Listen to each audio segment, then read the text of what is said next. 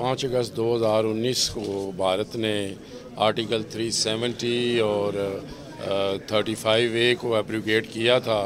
तो इमरान खान साहब ने आज़ाद कश्मीर असम्बली में आके तो कश्मीरियों का सफ़ीर बनने का ऐलान किया था और उस रोज़ से वो हर फोरम पे जाके कश्मीरियों की आवाज़ बुलंद कर रहे हैं। तीन दफ़ा मसला सिक्योरिटी काउंसिल में लेकर गए, जब वो ख़ुद जनरल असम्बली में ख़ताब करने गए तो उन्होंने कश्मीरियों की, के लिए आवाज़ बुलंद की और अभी भी वो जहाँ जिस फोरम पे जाते हैं वो कश्मीरियों की आवाज़ बुलंद करते हैं और उनकी, इन कोशिशों की वजह से मकबूजा कश्मीर में भी जो लोग हैं, उनको एक उम्मीद लगी है कि अब इन उनकी आज़ादी करीब है। तो उस वजह से वो बड़ी इनक्रेजमेंट है उनमें, उनको एक होप मिली है। तो इन मुझे यकीन है कि अब वक्त आ गया है कि हम कश्मीरियों को भी अपनी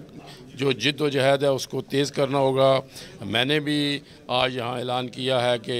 आज़ाद कश्मीर हुकूमत और बिलखसूस मैं इंटरनेशनल फोरम पे मसला कश्मीर को जारहाना अंदाज में उठाऊँगा। तो इमरान ख़ान की पॉलिसियों की वजह से